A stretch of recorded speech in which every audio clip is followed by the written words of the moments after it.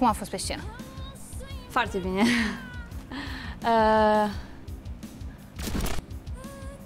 sunt fericită cu mine, adică am știut să-mi gerez emoțiile de un fason cu mult mai uh, echilibrat și uh, piesa uh, sunt chiar bucuroasă că s-a primit și că undeva am putut să am mai mult control.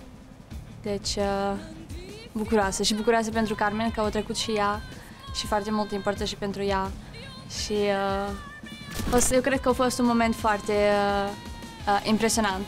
Um, un pic greu, poate, pentru că nu toată lumea îi place urlătură și uh, nebunie și lucruri așa spectaculoase, nu știu, cumva. Dar, uh, dar cred că energia care se simte și când cânti așa piesă, ori o auzi și chiar vrei să pricepi ce se întâmplă, cred că îți, îți dă foarte bune emoții. Deci te liberează destul de bine.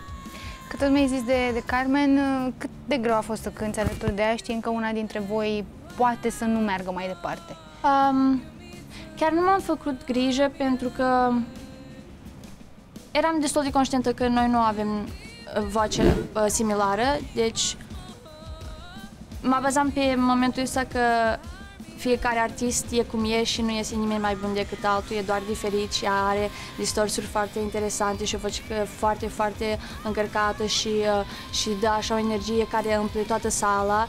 La mine e ceva un pic diferit, deci se cuplează, e interesant pentru că împreună merge foarte bine. Ai avut totuși vreun sentiment că o să, o să fii tu cea aleasă de către Tudor? Chiar nu știu, pentru că două voci diferite și depinde de ce el caută tot.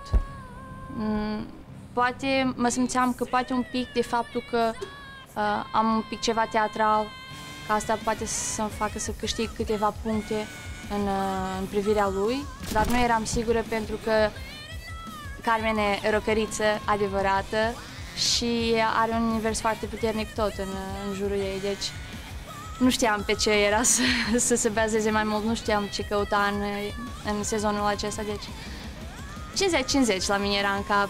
O să trăim și o să vedem. Am dreptul la acest subiectivism pentru că, repet, apreciez oamenii care nu o freacă și își asumă provocările. Și pentru asta alegerea mea este foarte tâmpită, foarte grea.